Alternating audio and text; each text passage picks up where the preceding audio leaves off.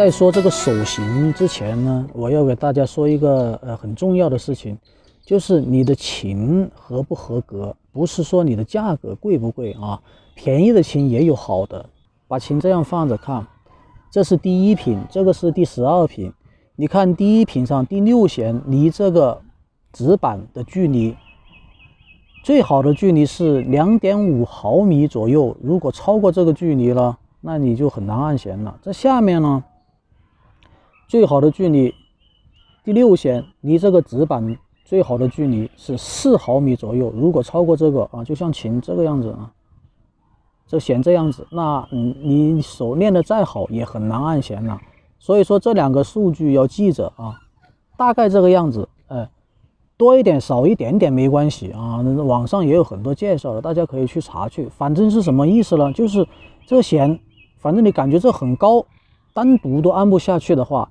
那可能是你这个琴不行啊，如果是琴不行的话，可想而知，那你怎么练都很难练，都按得很痛很累，也按不响。哎，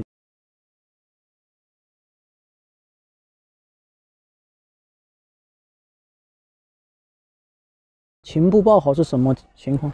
这个样子，或者是松松垮垮的不行啊，这边稍微高一点。哎，第二点大家要注意，看我这个手型啊。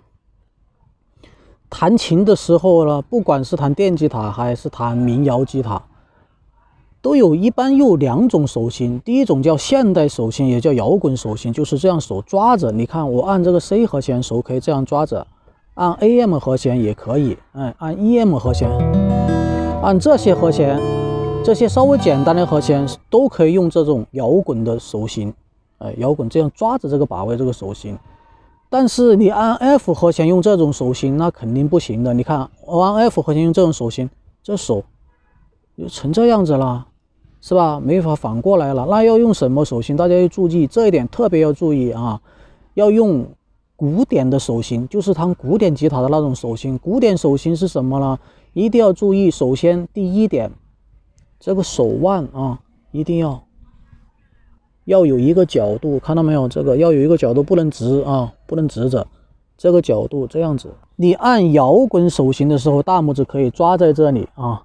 但是古典手型，大家看着，大拇指呢，基本上是在这个中间的位置，这个中间这个位置啊。哎，稍微一点上一点下也没关系，不能这样子，不能这样放，也不能放的太低，放在中间这个位置啊。根据自己的情况，稍微移一点点没关系。好，这个手型这样摆好以后，大家看，就这个动作。第一点，我重点介绍就古典手型。如果这个过不了关，后面完全没法那个啊。大拇指摆的位置跟中指相对应的地方，跟中指对着啊，这样子摆在这后面中间的位置。用古典的手型，手腕一定要下来。第二点，食指。究竟是用哪里按弦？有的人是用这个指肚这里正指肚这样按弦，这样不行，这样很累。为什么呢？因为你这里肉跟关节都在这里，很厚的肉，有的时候按会按不下去，或者是这个关节上面这个地方正好凹下去的地方按不下去。大家这个自己去体会吧。最好的按弦位置是哪里呢？大家看是这个位置啊，这个侧面这一条。这个外侧这个位置啊，就是有一点点这样斜着按的感觉，一点点这样斜着按的这个感觉，就这个位置一定要记着啊。这里，我看有的人按的时候出来这么多，那不好，这样出来不好，出来这么多又退的太多也不好。究竟是个什么样位置呢？大家可以根据我的这个手型参考看。看我出来多少啊？每个人他都有一点点情况的不同，根据手的长短啊，跟粗细有一点点不同。我的只能作为参考。我的意思是不能太粗，也不能太下，适当的位置，能按响就行。侧面压，嗯，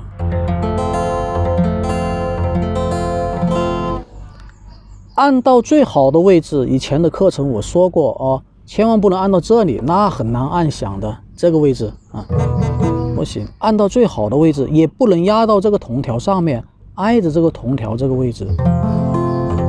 啊，这种感觉。好，那食指是直着吗？还是稍微弯一点呢？大家看，肯定是稍微弯了一点点的啊。你这样直就很僵硬了，不用太直啊，也不能太直。它其实要管第一弦、第二弦跟第六弦，只管这三根弦。所以说，你把力量感觉是放在这两边的啊，虽然有点难度，自己慢慢体会啊。中间这里稍微窝一点点没关系，因为中间这个三四五弦是这三个手指管的，这个食指只管一、二、六，所以呢，手指稍微这样弯一点点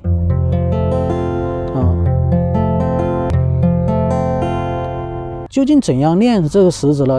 虽然不用管这六根弦，但是为了练这个食指的那个那个力量啊，跟韧性，你就可以就是说大拇指跟食指这样像钳子一样钳在这上面，把六根弦弹响，每一个品这样试，嗯，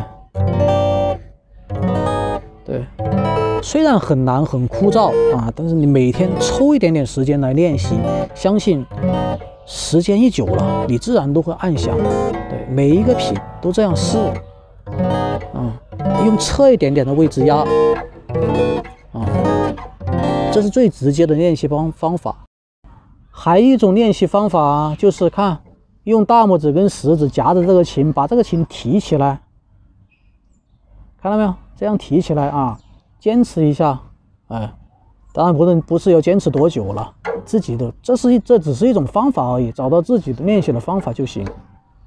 这样呢，时间一久了，你这个食指跟大拇指的这个力量呢，自然就起来了啊。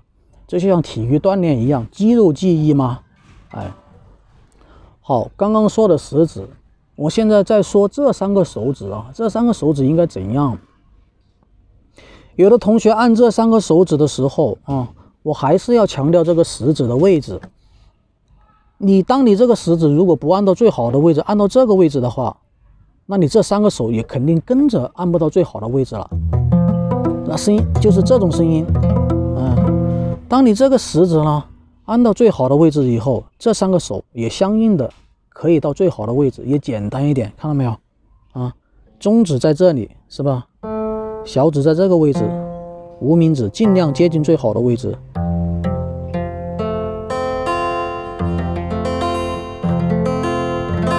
这三个手指也很重要啊！这三个手指容易出的错误是什么呢？初学者容易看着啊，用这样子，这样倒了，这样倒了，你力量再大，下面的弦都挨着了，肯定不会响了，音都不对了，就不能折，要这样呢，这样子垂直，这种感觉，对，对，一点点关节有一点点弯的弧度，不能折过来啊。就是说可以分开练，先练食指，再这三个手加上一起。等你食指跟大拇指有力了以后，这三个手指再按在在一起，跟着一起练。嗯，不一定要在第一品上试啊，别的品用这个指法也都可以的。下面还好按一点。嗯，这样做空动作啊，看准了按上去，不要这样做啊，不要。这样不好的，就在空中保持这个和弦，啊，嗯，我用了三四个月的时间才把这个 F 和弦，不说完全练好，就是说，呃，就比初学的稍微好一点，大概半年一年左右就很顺手了。这是需要时间的。你现在看着呃网上的老师，呃给大家教学，你不要走入一个误区，就是说，一个老师。教你一种方法，好，你练一下，练不好，我又换另外一个老师教你的方法，又练一下，又练不好。你要考虑是不是你自己练的太少，是不是你耐心不够？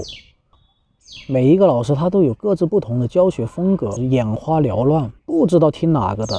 关键是要开始练，知道吗？时间会证明一切。哎，你不开始练，老是这左挑右挑，左挑右挑，那你永远就弹不好啊！永远都都都会在那个怪圈子里面，说这个老师不行，那个老师好，那个老师不行，这个老师好，他好，你你好了没有啊？你跟这个老师，你觉得他好，但你的水平有没有真正进步，这是很重要的一点。所以说呢，练习全靠自己，师傅引进门，修行靠自己，老师都是练出来的。我刚刚说了，我用了半年的时间才练的差不多，不是每一个人都是天才，大家都是普通人嘛，是不是？我说这些就是说，希望大家不要由于这个 F 和弦而放弃弹吉他，那将是一个很大的遗憾。练好横按和弦以后，你才叫入了这个吉他的门。你不练横按和弦，当然你弹着，你弹吉他就是为了呃吸引女孩子的注意啊，吸引初夏风头那个那那是另外一回事了。你真正要想在这方面有一点点成就的话，横按和弦你必须过啊。首先第一，注意手腕，用古典持琴的手法啊，古典的手法，千万不能用摇滚的手法，这是摇滚的手法。第二点，食指用这侧面的位置压，一定记着这侧面啊，不能用这指肚，侧一点点的位置呢，看没看得到？这侧一点，不能太侧，稍微侧一点点呢，在这正侧与指肚之间这个位置。第三个，这三个手指，嗯，不能折，也按到最好的位置。不是说哪个老师给你一个秘诀或者怎样，你就会练到什么东西，没可能。我只是说给你一种方法，让你去走，就像指指指一条路一样，你自己照着那条路去走。说一个实在的时间，两三个月吧，两三个月左右，照着这种方法练，一定会越来越强的。呃，有不明白，大家可以呃留言或者是私信我吧，谢谢大家。